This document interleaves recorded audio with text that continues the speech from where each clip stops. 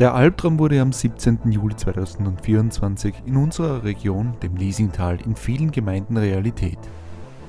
Ein verheerender Sturm zog in der Nacht auf Mittwoch über die Region und ließ an die 100 Liter pro Quadratmeter in kürzester Zeit niederregnen. So viel, dass das Wasser nicht mehr abfließen konnte und auch Geröll, Schlamm, Äste und sogar Bäume mit sich riss.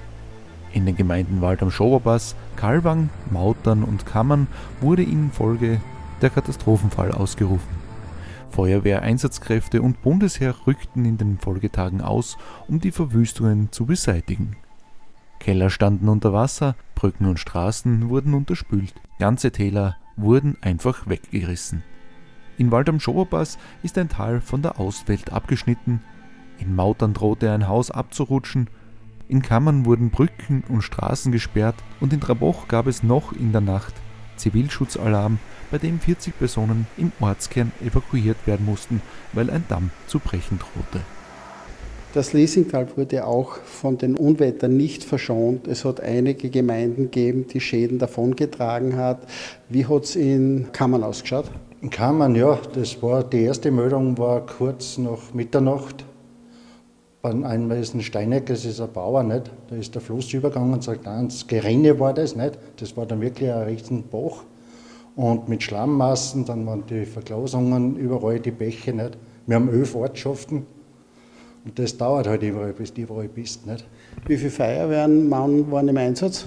Ja, wir haben zwei Feuerwehren, nicht? Gott sei Dank, nicht? in unserer Ortschaft, Seitz und Kammern und dann Löschzug in Mochel und da waren so über den Daumen bei den 15, 20 Mann immer im Einsatz nicht? und stundenlang. Nicht? Ihr habt ja eine Nachbesprechung. Jetzt ist es zum Glück, hat sich die Wettersituation verbessert. Kann man schon sagen, was jetzt alles in der Nachbesprechung alles aufgeworfen wird? Das sind die gewissen Punkte, was festgelegt worden sind gestern. Nicht? Der Bezirkshauptmann hat uns auch besucht, unterstützt uns auch nicht mit seinem Team. Und dann haben wir Punkte festgelegt, was wichtig ist, was noch nicht so wichtig ist. Und das haben wir abgearbeitet und kann man sagen, vor zehn Punkten sind sicher sieben schon erledigt. Nicht? Und jetzt da sind nachfolgende Schäden aufgetreten und die werden wir jetzt da bearbeiten. Das machen wir jetzt eh. Was für Schäden sind das vorwiegend? Wasser oder eher Hangrutschungen? Eher Hangrutschungen, nicht? Was jetzt da über die Nacht war, geht es wieder geregnet, nicht, nicht so viel, aber trotzdem nicht. Es war aufgeweicht. Und die Schäden wurden heute festgestellt, nicht durch den Bewohnern eigentlich. Nicht? Gibt es Geschädigte auch, die quasi evakuiert werden mussten? Gott sei Dank noch nicht. nicht? Und ich hoffe, es bleibt auch so. Nicht? Die Unwetter der letzten Tage haben sie ja mords zugespitzt. Ihr in St. Michael seid ja auch nicht verschont geblieben. Wie hat sich das bei euch zugetragen? Ja, bei uns war das folgendermaßen: Wir sind um circa äh, 3 Uhr alarmiert worden zu einer Menschenrettung nach Manstein.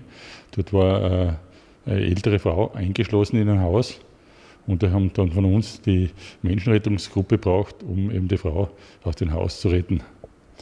Und kurze Zeit später haben wir gemerkt, dass bei uns die Leasing auch über die Ufer treten ist, sogar da beim Rüsthaus, und haben eben da weiter in Einsatz fortgesetzt. Ihr habt im Ort quasi ja äh, die Leasing, die was ein bisschen äh, Gefahrenpotenzial sich geborgen hat. Äh, wie hat sich das äh, ausgewirkt auf die umliegenden Anliegenschaften, Bewohner? Ja, die Leasing ist bei uns beim Ortseingang über die Ufer treten und eben unten da beim Café und bei der Leasingbrücke. Und dort waren auch die Keller überflutet und wir haben dann in weiterer Folge diese Keller ausgepumpt und äh, mit Nasssaugern äh, bestmöglich trockengelegt. Die Gemeinden informierten sofort über mögliche finanzielle Unterstützung für Katastrophengeschädigte. Beim Steirischen Katastrophenfonds kann bei Unwetterschäden bereits ab 1000 Euro eingesucht werden, sowie beim Caritas Katastrophenfonds unter bestimmten Voraussetzungen. Informationen dazu erhalten Sie direkt bei Ihrer Gemeinde. Die Höhe der Schäden sind noch lange nicht feststellbar und auch die Aufräumarbeiten dauern zur Stunde noch an. Der Schock und die Schäden werden noch lange in Erinnerung bleiben.